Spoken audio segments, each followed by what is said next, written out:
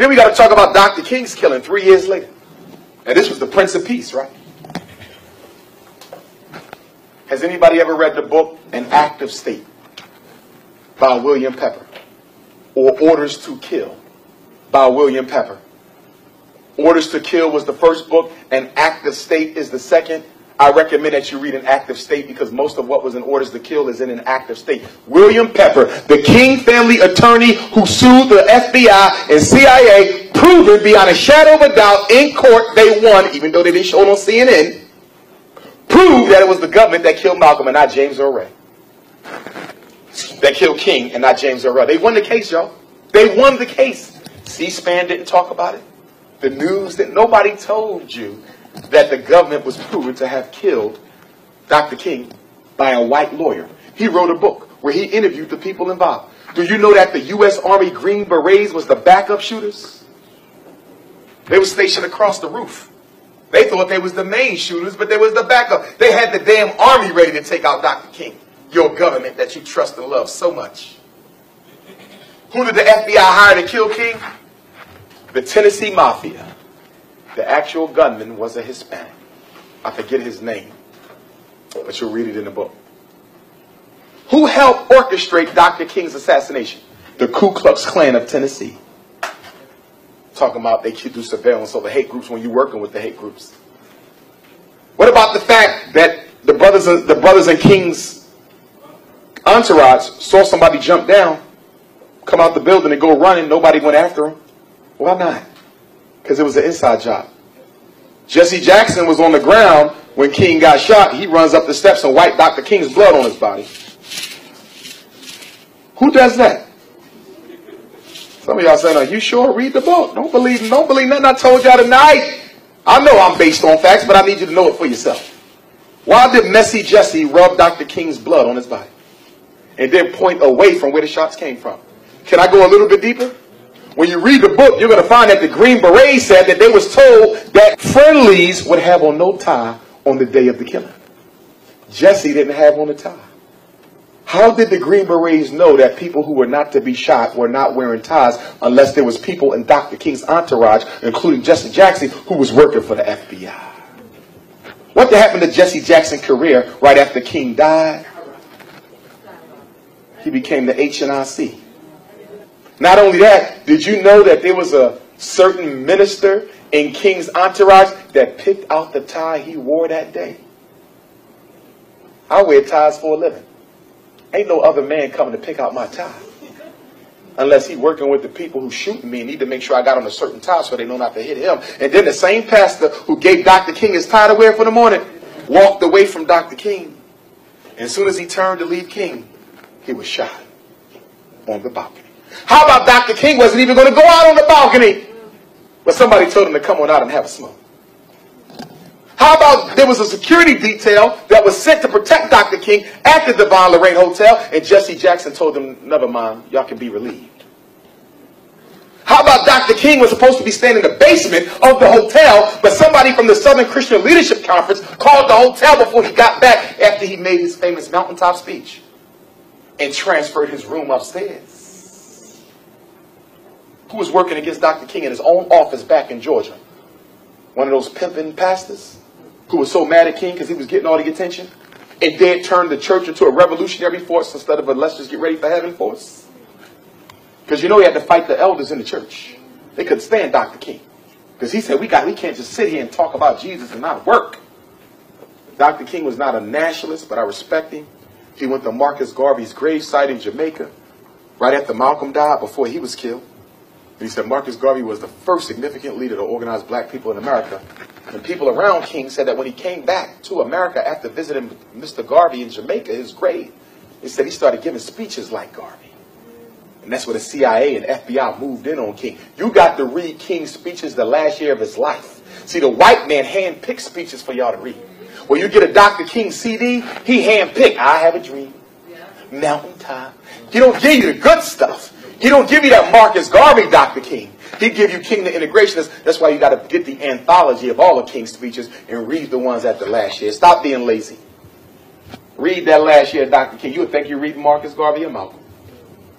And why was the police Black cops stationed in buildings across the way from King, relieved of their duty. They was told to get off post. They said, no, we defending Dr. King. We got to keep a watch out. We said, go home. Here's a man who preached peace, and look what they did. What did Marcus Garvey say? Some of us going to die. You get up to do this work, you're going to die. But he said, that ain't the problem, that you might die. Problem is we ain't got nobody to replace you. Dr. King died in 1968. He had his faults. Dr. King wasn't perfect, but he was damn sure committed, at least in the final years. Who got up to take King's place after he died? Nobody. Look at us, y'all. What we 45 years after King? You ain't get nobody significant yet.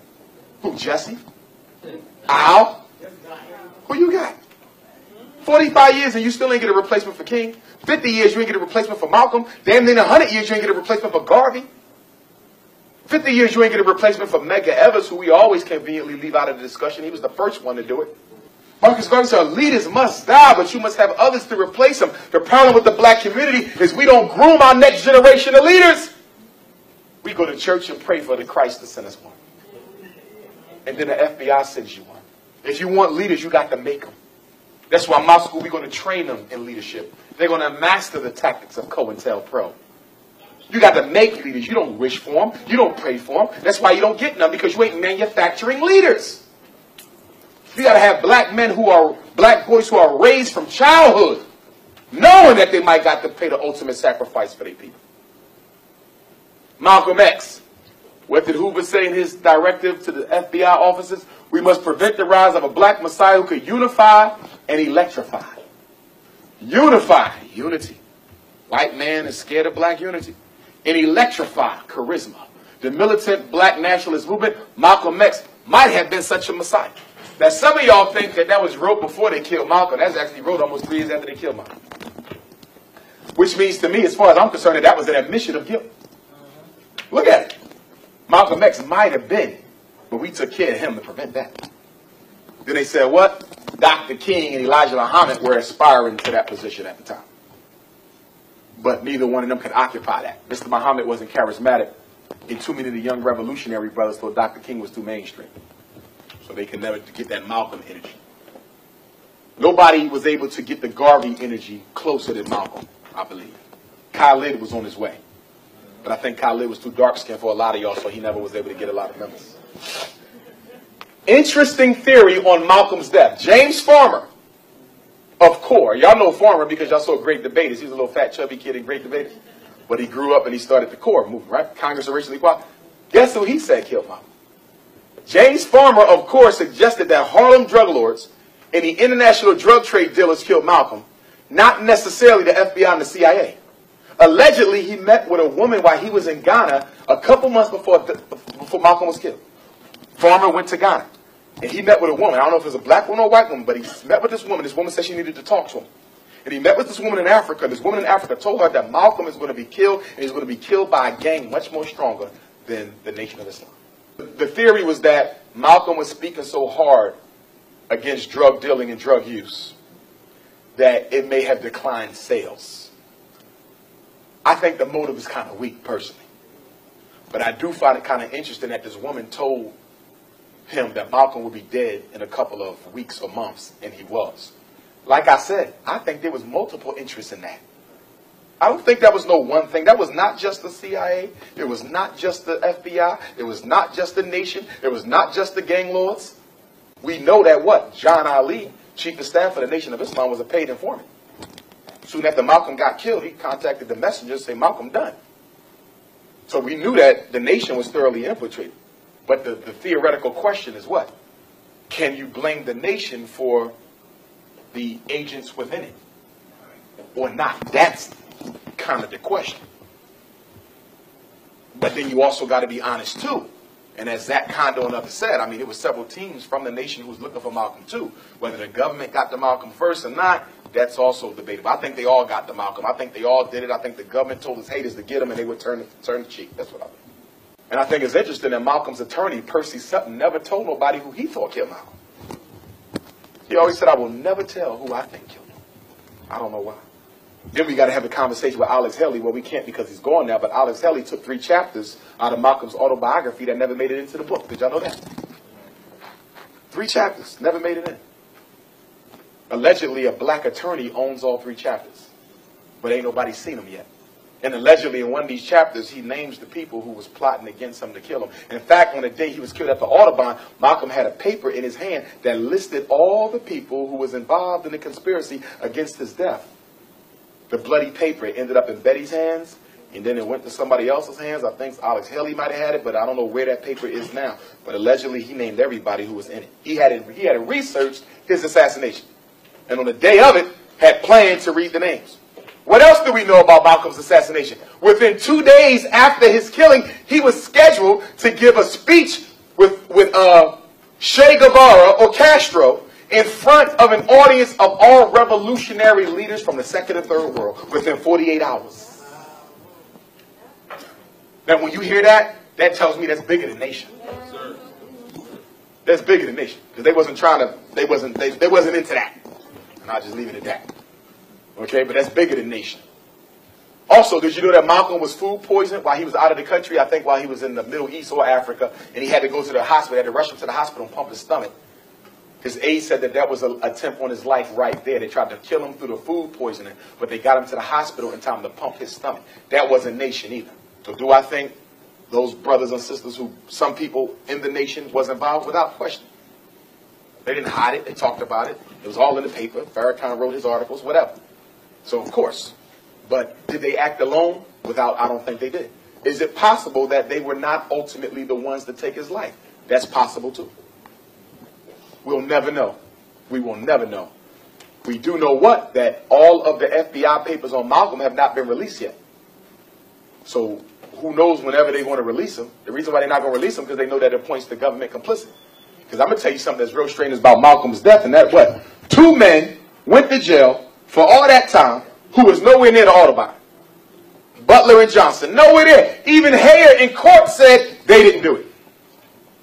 And they still sent them to jail because they had to blame it on somebody. I had the attorney for the Malcolm X grassroots movement, Brother Kamau Franklin, on my radio show a couple years ago. Kamau said one of the guys who killed Malcolm never been questioned, never been arrested. He living as a free man right now. So definitely the government was in it. But uh, am I going to absolve certain forces within the nation? No, I'm not going to absolve. It gets deep, brothers and sisters. Why are we doing this in the first place? So you can study who killed Hill? No, no, no. I want you to look at the pattern so you can protect your damn self. Look at the pattern so you can protect yourself. Malcolm, a gasoline container was placed on one of the rooms at Malcolm's Firebound home, attempted to suggest that he burned the house himself. Did y'all know that? When they went in to inspect the house, there was a container of gasoline on one of the dressers, I believe it was. And so they tried to say Malcolm burned the house himself so the nation couldn't get it. And Malcolm said, if y'all can prove that I put that there, y'all can take my life right now. Why would I buy my house with my children living? But who planted the gasoline bottle? And then we got to talk about who? The mysterious third gunman. Y'all heard about that, right? That there was another man who was involved in shooting Malcolm, who the people saw the police escort away from the scene of the crime, never to be seen or heard from again. Rumors of a bullet that came from behind Malcolm, allegedly. We don't have the forensic proof, but there's certain forces who say that there was a shooting that came down from behind Malcolm to make sure that the uh, assassination was successful that either got him in the back or in the head. A bullet from behind which means someone had to be stationed up front before Malcolm even came to the Audubon, before the Audubon even opened that day. He was scheduled to give a major address with Che Guevara or Castro, as I said, within 48 hours after his killing. Who knows what would have happened if he was able to get there.